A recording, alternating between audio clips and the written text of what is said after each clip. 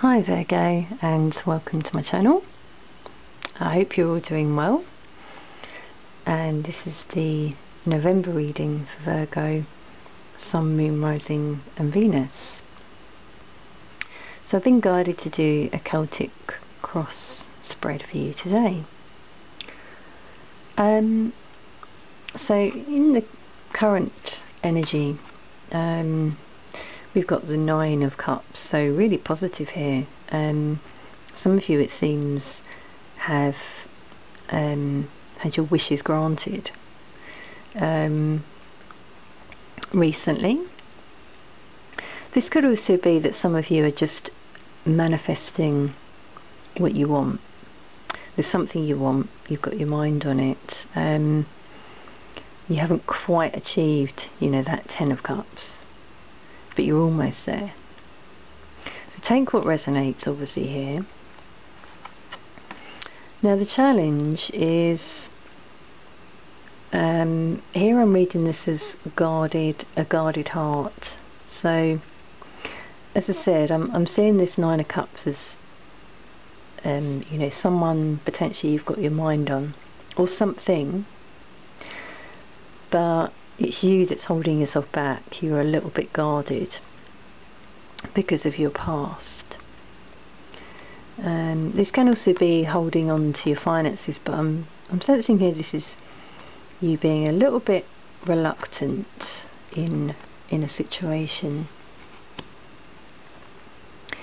Now, in your recent past, we had the Page of Pentacles, so this can indicate, um, firstly, if this is finances, this can indicate a job that came in for you, and that's why you're now feeling good. You've got your wishes granted. Um, for others, this could have been a person, Capricorn, Taurus, Virgo. Could be any sign, okay, maybe someone younger. Um, and there might still be in your life as well because we've got pentacles here so with this person you're maybe being a little bit guarded um, okay quite interesting that we've got another pentacles sign here knight of pentacles in your conscious so I definitely feel there's there's a an earth sign in your life someone quite steady, committed. They might be a bit slow, um, slow going, but they feel like they're quite dedicated. Um, and if this isn't a person, this is you, I feel at the moment you're taking things slowly and you're committing to something. As I said, if this is finances, it may be related to your finances. Um, but at the root of this reading, we've got this moving on to some somewhere calmer. Um, so for some of you, you've been through the wringer a little bit. Um, either with this person I mentioned or just in your life in general. And this is what you want to do. You want to move forward to a new career or just a new avenue, you know, new a new place, um, or move on from a person. Getting a few different messages here, so take what resonates. In your near future, we've got the Emperor, so this could be an Aries who comes into your life.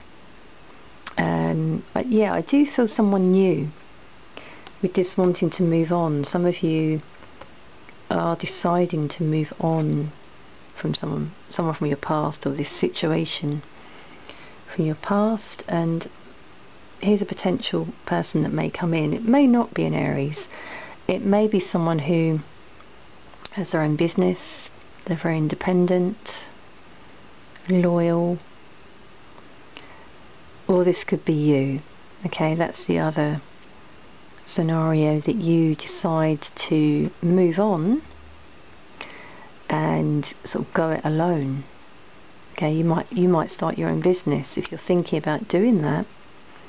I think some of you could be very successful. Okay, so internally we've got the Page of Cups here. Um, Cancer, Scorpio, Pisces could be on your mind. You might be thinking about reaching out to this person, um, making an apology, or someone may have have done done that with you recently. But I feel this is you wanting to make an offer of some sort, but you're feeling um, a little bit confused. You can't see things clearly. Um, you've got two potential paths you can take and you're not really sure which one to take. Um, so really, you know, try to meditate and follow your heart, I would say, in this situation. Um, hopes and fears, we've got the Page of Swords. So I feel some of you are really hoping for some communication to come in. Um, could be an Aquarius, Libra or Gemini that's on your mind. Um, we've got three pages by the way in this reading. Okay, so that's quite significant. Now may this may indicate an age difference between you and this person, but it also strongly um, does uh, signify communication. So I feel that's what you're hoping for. Um, and, and for that to be in this reading quite prominently, um, I feel that is going to come in. And the potential outcome, we got the death card. So a transformation, um, you know, in yourself. This could be a Scorpio, and obviously we are in the Scorpio season. Um, so you know, a time, a powerful time of transformation um, you know, is coming for you in your life and moving on to, to that light. See that light there? Um, finding your path is what I'm hearing here. Let's just clarify that death card for you, for your outcome.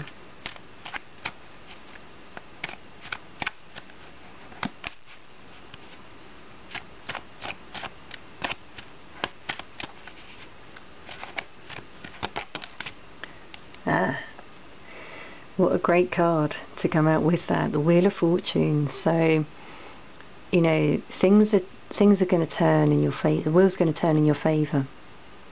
Good luck coming in for you. Yeah. Um,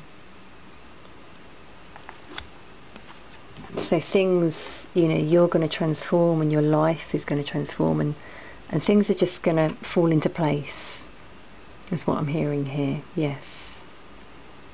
Things that you're desiring at the moment, okay, if they haven't all come in and you're manifesting, they will. Just keep manifesting what it is you want, okay? Okay, Virgo, um, I hope you've enjoyed this reading. Um, if you did, please do like, comment and subscribe. Um, and please note I'm also doing private readings, so check the description box below for more details. I'd love to connect with some of you. And um, I hope to see you again soon.